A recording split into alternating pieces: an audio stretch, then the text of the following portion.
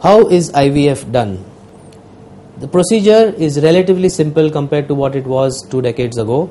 After the initial recruitment of the patient and an AMH test to determine what dose of injection she needs, and an ultrasound to see if she needs a hysteroscopy before the procedure, the patient is then started on a stimulation protocol from either the second day of the period, which is known as a short antagonist cycle, or from the mid luteal phase, that is from the 21st day of the period, which is a different protocol known as a long agonist protocol.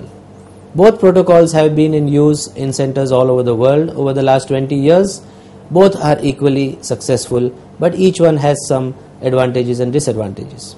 Now, once the protocol is started from the second day, I shall describe the antagonist protocol first. FSH injections are started from the second day of the period. From the sixth or seventh day, we start follicular monitoring. When the lead follicle reaches 14 millimeters in mean diameter, we also start giving an injection called cetrorelix or ganirelix, which will help to prevent the eggs from releasing before we are able to pick them up for IVF. Both the injections are then continued until two or three lead follicles are 18 millimeters in mean diameter. At this time, we give the last injection of HCG for inducing final maturation of the eggs, and at 36 hours post this injection, we admit the patient, give her a short anesthesia for about 5 minutes, which is relatively safe, and with the transvaginal ultrasound, we retrieve the oocytes into a test tube, which is then passed on to the IVF laboratory.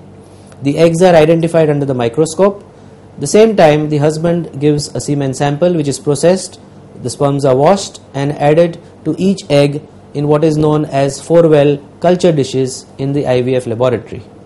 The next day, after 20 hours, the eggs are checked for fertilization. The fertilized eggs are scored for what is known as a 2PN scoring and segregated as per the quality of the 2PN score. After another 24 hours, the best embryos, which are expected to be at a 4 cell stage, two of the best embryos are then replaced back into the uterine cavity by a simple procedure known as embryo transfer, which is usually done in just about a minute. Very simple, quite painless, can be done under ultrasound guidance if we feel that the patient has a difficult history or a previous difficult embryo transfer in the past. With this, you can expect a 40 to 50% chance of pregnancy in the fresh cycle. The surplus embryos are frozen by a new technique called vitrification. This has come as a big boon to all IVF centers because the success rates with conventional slow freezing and embryo transfer were just about 20%, but with the new technique of vitrification, they have shot up to as high as 50 to 60% with frozen embryo transfer. So, if the cycle fails, the patient doesn't have to go through the entire process again she just comes for an embryo transfer of the frozen embryos and expects the same pregnancy rate of 50% per cycle. So this was in short how the antagonist or the short protocol works. For the long protocol, it is quite similar, but there are some more injections which are started about 10 days before the menstruation and then continue in the same fashion until the egg retrieval and the embryo transfer procedure is done.